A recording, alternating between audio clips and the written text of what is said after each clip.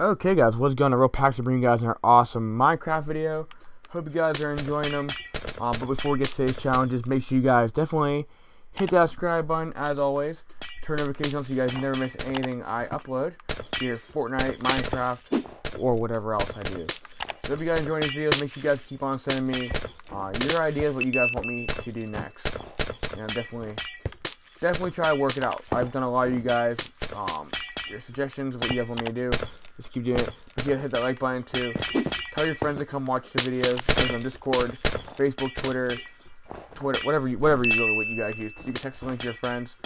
Um, just do that. So today's challenge is as soon as I see the diamond sword, or as soon as I find a diamond sword, I have to end the video immediately, guys. Like I said, right now we are in the middle of the of snow biome, next to an island, next to jungle doesn't exactly make much sense of how it works.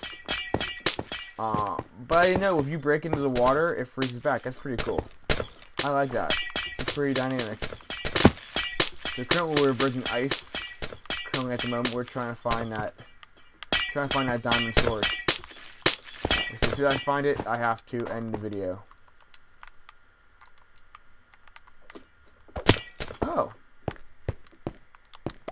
Well, shit.